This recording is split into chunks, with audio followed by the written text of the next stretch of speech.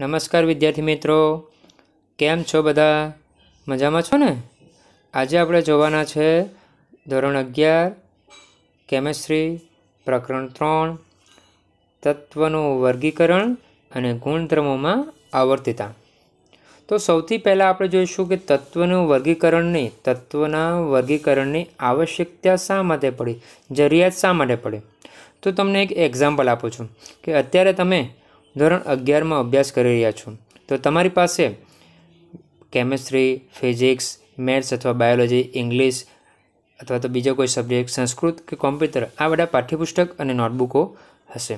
તો તમે એને ઘરે કઈ રીતે રાખો છો? તમારી પાસે કબાટ હોય ટેબલ હોય, તો એની અંદર તમે કઈ રીતે ગોઠવશો તો માની લો કે તમારી પાસે એક કબાટ છે અને એની અંદર ચાર કે પાંચ ખાનાઓ છે. તો તમે શું કરશો?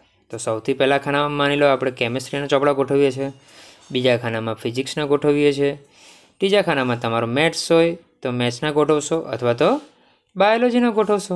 અને ત્યાર પછી બાકી રહી ગયા ખાનામાં ઇંગ્લિશ અને છેલ્લા ખાનામાં સંસ્કૃત અથવા તો કોમ્પ્યુટરના તમે ચોપડા ગોઠવશો.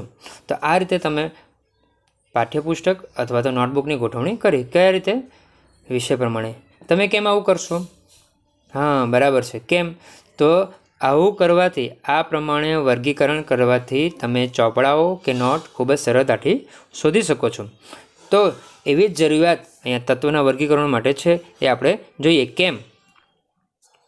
તો સૌથી પહેલાં જોઈએ તો ઈસવીસન અઢારસોની અંદર ફક્ત ને ફક્ત માત્ર એકત્રીસ તત્વ જ અસ્તિત્વમાં હતા. અને ત્યાર પછી જે તત્વો શોધ્યા, તમે જોશો તો અઢારસો પાસઠમાં ખૂબ જ ટૂંકા ગાળામાં ત્રેસઠ તત્વો થઈ ગયા.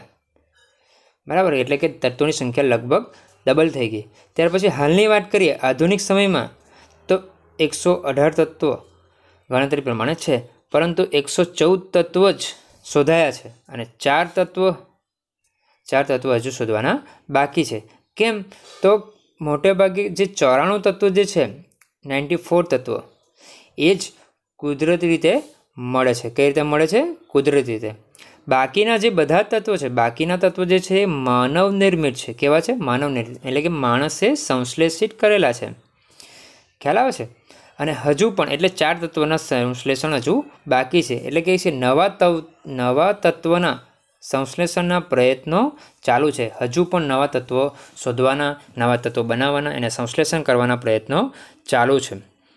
બરાબર? તત્વોની સંખ્યા વધુ હોવાથી આ બધા તત્વના વ્યક્તિગત અને તેમના અસંખ્ય સંયોજનોના વ્યક્તિગત રાસાયણિક ગુણધર્મનો અભ્યાસ ઘણો મુશ્કેલ જણાતો હતો. એટલે શું કહેવો છે? કે ભાઈ, તત્વોની સંખ્યા વધુ થઈ ગઈ અને બધા જ તત્વો, બધા તત્વોનો આપણે વ્યક્તિગત અભ્યાસ કરવો હોય અથવા તો એ જે તત્વો છે, એના સંયોજનો પણ કેવા છે? અસંખ્ય બને છે. અને એના વ્યક્તિગત સંયોજનોના રાસાયણિક ગુણધર્મો પણ જુદા જુદા હશે. એટલે કે એ બધાનો અભ્યાસ ઘણો મુશ્કેલ જણાય છે. એટલા માટે શું કરવામાં આવ્યું?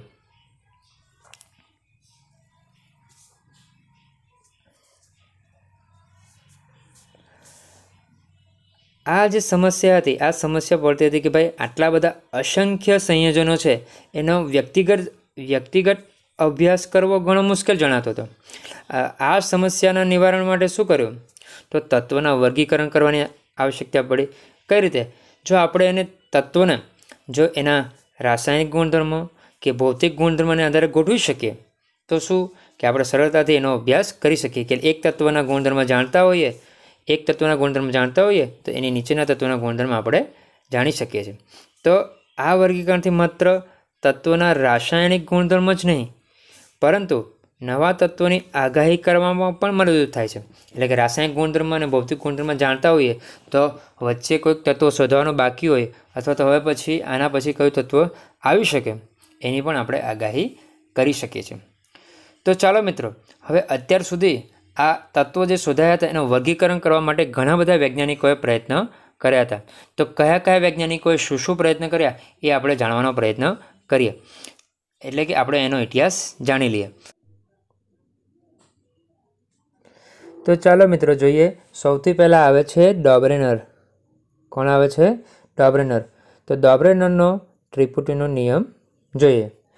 તો ઈસવીસન અઢારસોની અંદર શરૂઆતના દશકામાં જ્હોન વુલ્ફ ગેંગ ડોબ્રેનર, એટલે કે ડોબ્રેનરનું પૂરું નામ છે. John Wolfgang Dobereiner.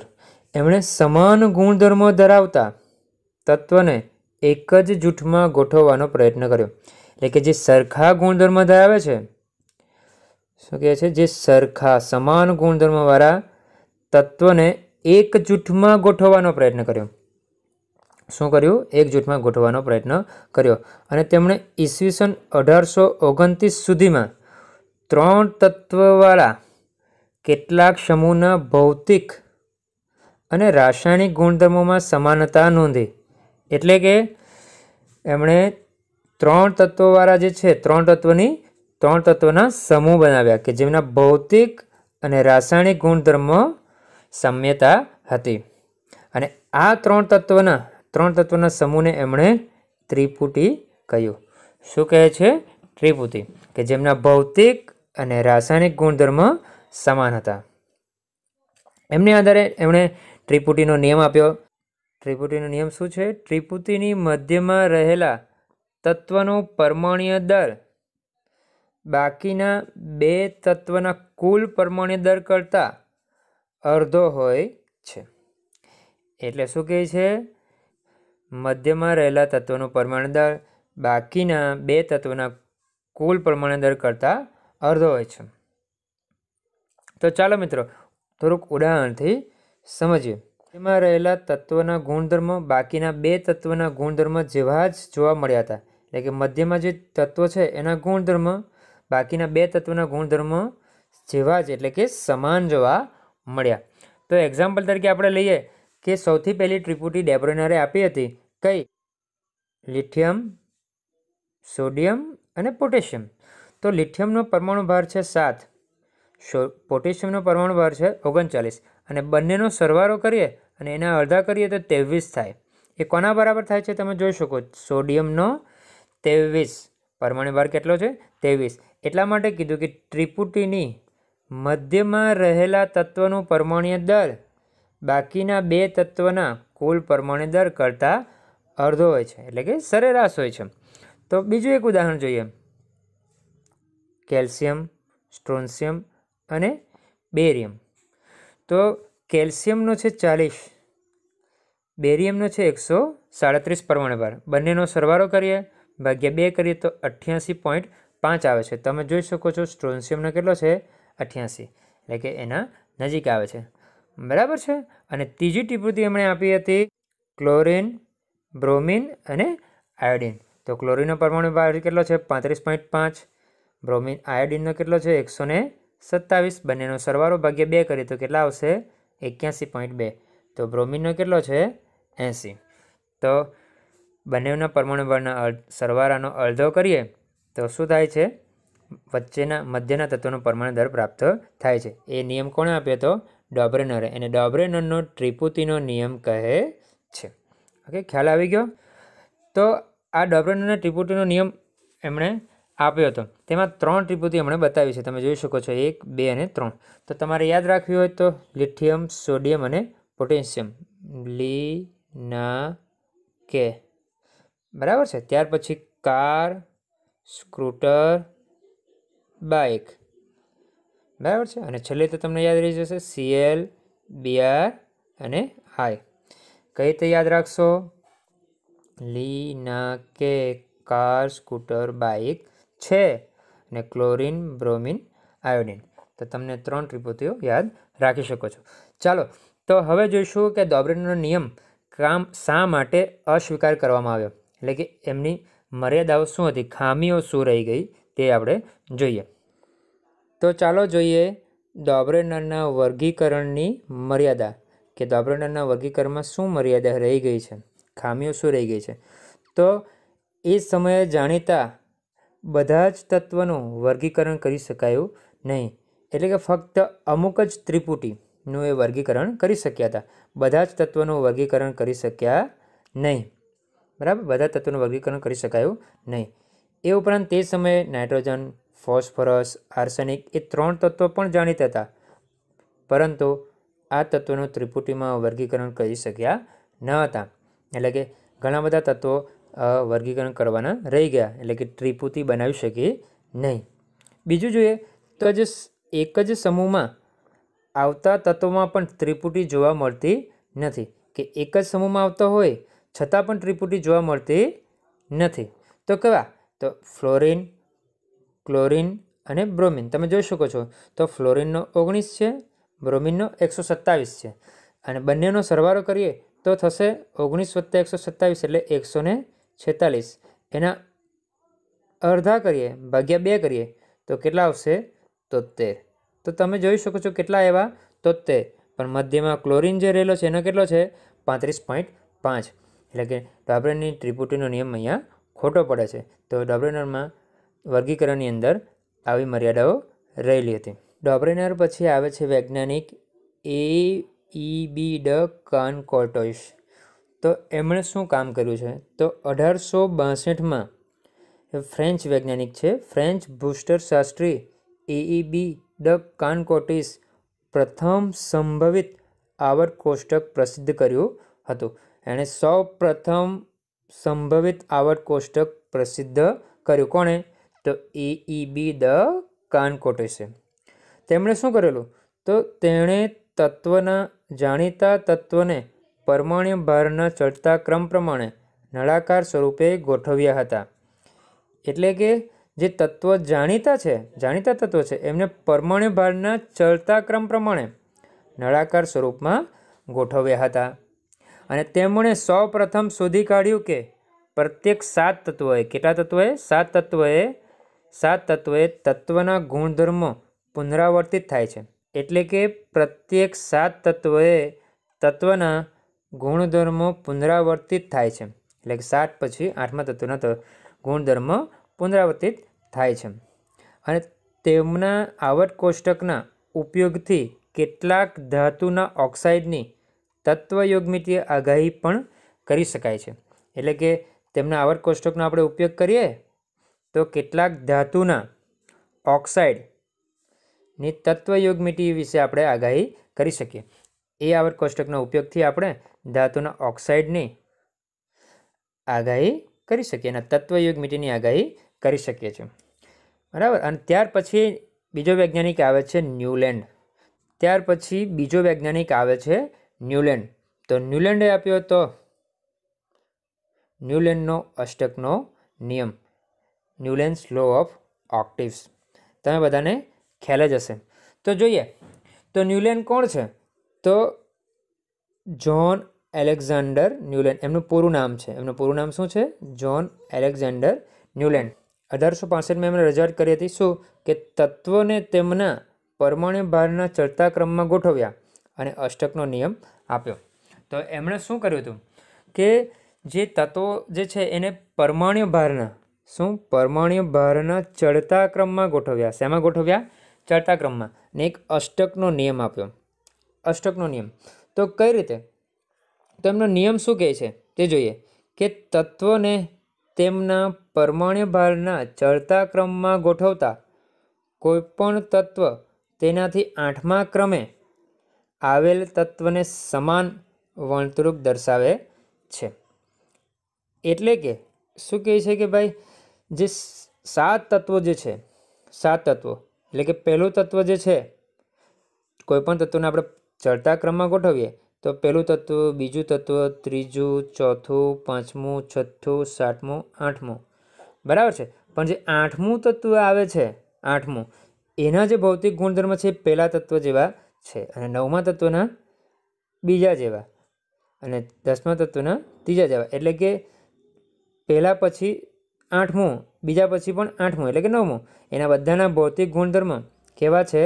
સરખા છે એવું એમણે કીધું. એમને આધારે તત્ એમણે અષ્ટકનો નિયમ આપ્યો. એમણે આ જે નિયમ જે છે એને સંગીતના સાત સુરો સાથે સરખાવ્યા. ન્યુલેન્ડે આ નિયમને શેના સાથે સરખાવેલા છે? સંગીતના અષ્ટક સાથે સાત સુરો. સા, રે ગા મ, પ ધ ની અને છેલ્લો આઠમો સૂર જે છે સા, એ કોના જેવો છે? પહેલા સૂર જેવો, સા. એટલે કે દર આઠમો સૂર રિપીટ થાય છે. બરાબર છે? સાત જ સૂર છે અને આઠમો સૂર રિપીટ થાય છે. તો એ જ રીતે એમણે એમ કીધું કે ભાઈ તત્વને આપણે જો તત્વને પરમાણુ બળના ચડતા ક્રમમાં ગોઠવીએ, તો કોઈ પણ તત્વ આઠમા ક્રમે આવેલ તત્વને સમાન વર્તણૂક દર્શાવે છે. કે પહેલું તત્વ હોય, એના જેવું કોણ ગુણધર્મ દર્શાવે? આઠમા તત્વ જેવું. એટલે કે પહેલું તત્વ અને આઠમા તત્વના ગુણધર્મ સરખા હોય છે. આ કાર્ય માટે, આ કાર્ય માટે રોયલ સોસાયટી લંડન દ્વારા દેવી ચંદ્રક એનાયત કરવામાં આવ્યો હતો. કોને? ન્યુલેન્ડને ન્યુલેન્ડને આના માટે શું મળ્યું હતું? ડેવી ચંદ્રક. કોણે આપેલો હતો? રોયલ સોસાયટી ઓફ લંડન દ્વારા. બરાબર છે? તો ન્યુલેન્ડનું અષ્ટક એટલે કે કોષ્ટક, આઉટ કોષ્ટક કયું હતું? એ પ્રમાણે એ આપણે જોઈએ. તો તમે અહીંયા ન્યુલેન્ડનું અષ્ટક જોઈ શકો છો. તો આ પેલ, lithium lithium, beryllium, boron, carbon, nitrogen oxygen અને ફ્લોરિન. અને ત્યાર પછી આવે છે સોડિયમ. એટલે કે આ પહેલું તત્વ, આ બીજું, આ ત્રીજું, ચાર, પાંચ, છ અને સાત. અને ત્યાર પછી જે આઠમું તત્વ છે, એના ગુણધર્મો કોના જેવા છે? સોડિયમ જેવા. કદાચ તમે આગળ શીખી ગયા છો, એટલે કહેશો કે સાહેબ, અહીંયા તો નિયન આવ્યો જ નહીં. તો એ વખતે જ્યારે ન્યુલેન હતો, એ વખતે જે નોબેલ ગેસ છે, એટલે કે નિષ્ક્રિય વાયુ છે, નિષ્ક્રિય નિષ્ક્રિય વાયુઓની શોધ થઈ હતી નહીં. બરાબર છે? એટલે એ અસ્તિત્વમાં હતા નહીં. એટલા માટે એમણે એને ગણતરીમાં લીધું નથી. તો લિથિયમની નીચે કોણ આવ્યું સોડિયમ. અને સોડિયમની નીચે ફરીથી બેના નીચે નવ નંબરનો, કે જેનો આનાથી બેરિલિયમથી ગણીએ આપણે, તો મેગ્નેશિયમ કયા ક્રમે થાય છે? આઠમા ક્રમે. એટલે કે દર આઠમા ક્રમે એ ગુણધર્મો રિપીટ થતા હતા. એ તમે આ કોષ્ટકની અંદર જોઈ શકો છો. બરાબર છે? દેખાય છે? તો એણે ક્યાં સુધી ગોઠવણી કરી હતી? કેલ્શિયમ સુધી. એમ તો એણે આગળ પણ ગોઠવણી કરી હતી, પણ એની ગોઠવણી ક્યાં સુધી? સાચી પડી? કેલ્શિયમ સુધી. એટલે કે પરમાણુ ભાર ચાલીસ હોય, ત્યાં સુધી જ સાચી પડે છે. બરાબર? તો આ પ્રમાણે એણે ગોઠવણી કરી હતી. એટલે કે સા, રે, ગા, સા સા રે ગામા પદની સા, ફરીથી સાતમો સૂર રિપીટ થાય છે. એ રીતે એમણે કીધું કે દરેક પહેલાં તત્વ પછી આઠમા તત્વના ગુણધર્મ રિપીટ થાય છે. એટલે કે સરખા આવે છે. ભૌતિક અને રાસાયણિક ગુણધર્મમાં સામ્યતા જોવા મળે છે. પરંતુ આમાં ઉપર ઘણી મર્યાદાઓ જોવા મળે. તે આપણે જોઈએ. ન્યુલેન્ડના અષ્ટકના નિયમની મર્યાદાઓ શું હતી? તો પહેલી મર્યાદા માત્ર હલકા તત્વને જ લાગુ પાડ્યો એટલે કે પરમાણુ ભાર ચાલીસ યુ ચાલીસ યુ કરતાં ઓછો હશે, ઓછો હોય એને લાગુ પડ્યો. એટલે કે કેલ્શિયમ સુધી જ લાગુ પડ્યો. આગળ લાગુ પડતો નથી. બીજી વસ્તુ કે નિષ્ક્રિય વાયુની શોધ થયા પછી અષ્ટકનો નિયમ લાગુ પડતો નથી. મેં આગળ કીધું તેમ કે ભાઈ ક્લોરીન પછી આપણે જોઈએ છે. તમે અહીંયા જોઈ શકો છો. શું છે ક્લોરીન? ફ્લોરિન. પછી અહીંયા તમે આવશે ફ્લોરિન પછી નિયોન, આપણે શીખી ગયા છે, ક્લોરીન પછી આવે છે આર્ગોન. બરાબર? તો આ બધા નિષ્ક્રિય વાયુની શોધ થઈ ન હતી, એટલા માટે એ આઠમા તત્વના ગુણધર્મ રિપીટ થાય છે. એ અહીંયા ખોટું પડ્યું. બરાબર? એટલે નિષ્ક્રિય વાયુની શોધથી આ મર્યાદા આવી ગઈ. ત્યાર પછી ત્યારે જે છપ્પન તત્વો હાજર હતા. અને એમણે એવું કીધું કે નવા તત્વો શોધાશે નહીં. અને નવા તત્વો ભવિષ્યમાં ઘણા બધા શોધ્યા. તમે જાણો છો અત્યારે એકસો ને ચૌદ તત્વો શોધાઈ ચૂક્યા છે. બરાબર છે? એટલે કે આ બધાના ગુણધર્મો, આ નવા જે તત્વો શોધાયાના ગુણધર્મ આ નિયમ સાથે બંધ બેસતા નહીં. કયા નિયમ? અષ્ટકના નિયમ સાથે. એટલે ન્યુલનના અષ્ટકનો નિયમ પણ ફેલ જાય છે. ઓકે? ચાલો હવે આગળ વધીએ.